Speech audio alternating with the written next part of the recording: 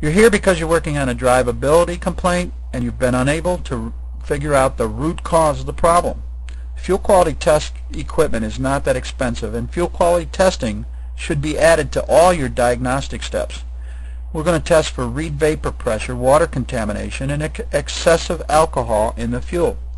Reid vapor pressure tells us how fast the fuel will vaporize. In some states, their summer and winter class fuels using the wrong class of fuel may cause a drivability problem. Your equipment may look different, it may be different, but they all do the same thing. Remove the fuel from the vehicle. Make sure you get it out of the fuel tank. Do not remove hot fuel from the fuel rail. This testing is temperature sensitive and you don't want to use hot fuel to start with.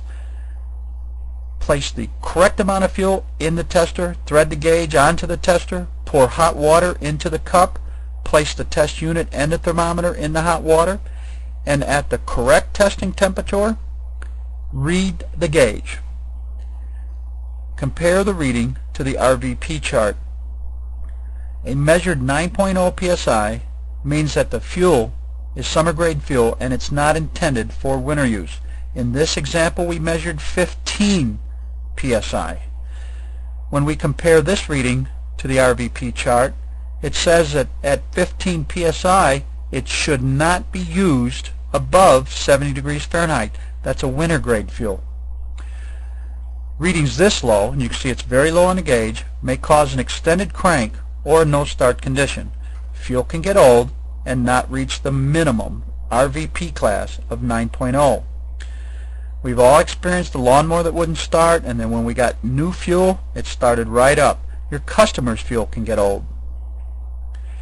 If the fuel has the wrong RVP, drain and flush the fuel tank, replace with the correct fuel.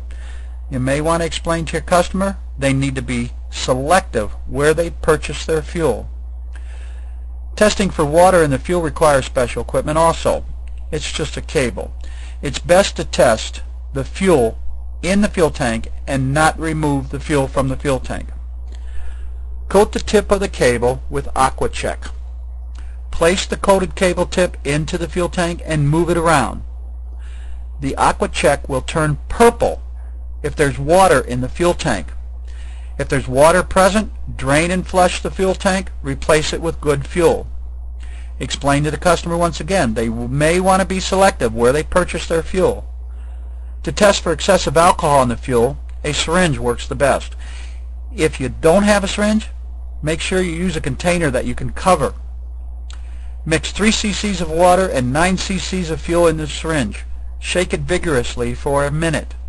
After shaking it, let the syringe stand for one minute. If alcohol is present, it will separate from the fuel and dissolve with the water and settle at the bottom.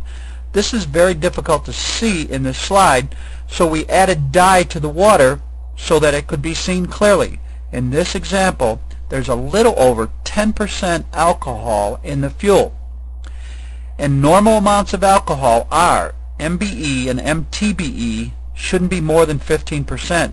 Methanol shouldn't be over 5%. Excessive amounts of alcohol may cause drivability problems. Now don't forget, there are flex fuel vehicles. Their designation is FFV. And they will run on 85% maximum alcohol. That's right, up to 85%. These vehicles have a fuel sensor to detect the concentration of alcohol.